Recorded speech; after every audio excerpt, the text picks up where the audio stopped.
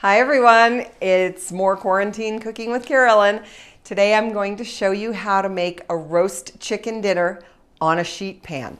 And the, this is a great recipe because everything from the potatoes to the vegetables to the chicken are all done on one sheet pan. So it makes your cleanup really easy.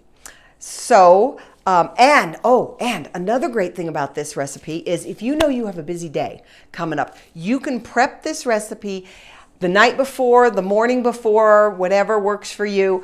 Cover it with some aluminum foil, plastic wrap, put it in the refrigerator.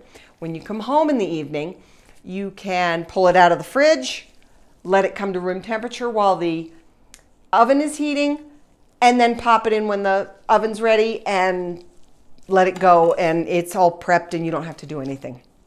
So that's another great thing about this recipe. So let's get started. First thing you want to do is preheat your oven to 425 degrees. And you want to line a sheet pan with some heavy duty um, aluminum foil.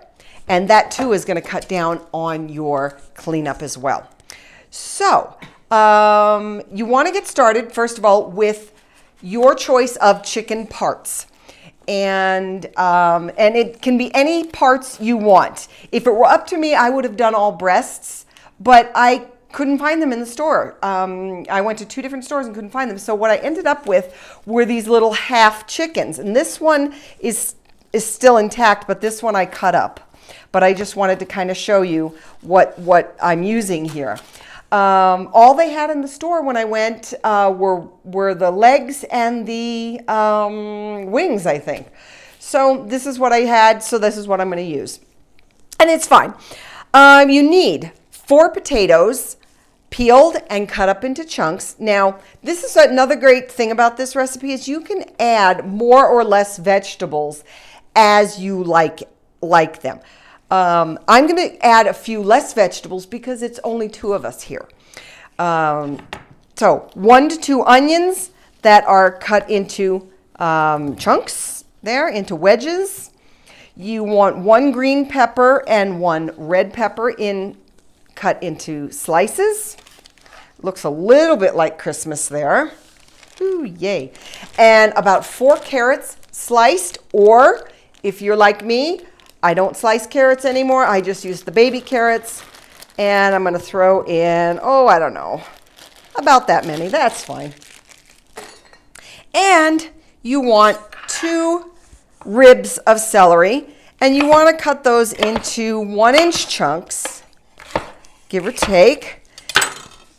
And cut it on the diagonal just because it looks prettier. That way. Oh, got some onion here still. And then we're going to add one to two tablespoons of olive oil to this. And I'm going to start with one tablespoon because I find a lot of recipes call for more oil slash fat than they really need. So I may, I may put more in, but we'll see. I'm going to um, toss it first and see if I think it needs more. And I, I actually don't think it does. And you can kind of tell by how shiny the vegetables are getting, by whether or not it needs more. And I actually think that that is going to be just fine. There we go. Okay, and I'm going to take this off here. And we're going to put this on the sheet pan just like so. And then let me pull this guy over here. Okay, then we are going to add to this the chicken parts. And I will put the rest of the chicken on later. And then you want to add some salt. And I like to do this um, whenever I'm sprinkling on salt, pepper, herbs of any kind. I like to do it kind of from a high um, vantage point because I think you get better um, coverage. If you do it too low, and maybe this is just my experience, but if you do it too low, it seems like you get this big clump of salt or whatever in one area. And then you want to add some garlic powder. And that's because it's me. And I'm putting about a half a teaspoon or so on here, give or take. I don't know how to cook without garlic. And just a pinch of paprika. And this is probably about a half tablespoon too, which is a little more than a pinch, but you know, hey. Paprika is also rather clumpy. There we go. All right, and so this is going to go in the oven at 425 degrees for 40 to 45 minutes. Then at about the 20 minute mark, you want to pull it out of the oven and baste it with the pan juices.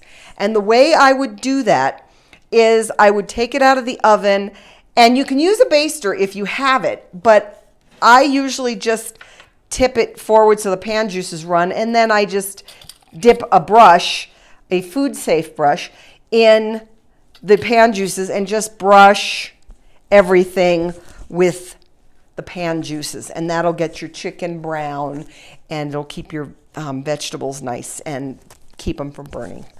So.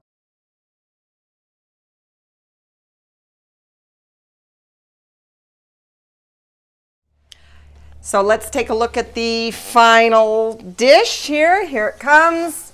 And look at that. I think that looks delicious. There goes the timer even. So there you go, and the, the chicken looks really crispy and beautiful, and the vegetables look nice. So you know what, guys? Give this a try. Um, you can take this right to the table like this. So like I said, give this a try because I know you've got this.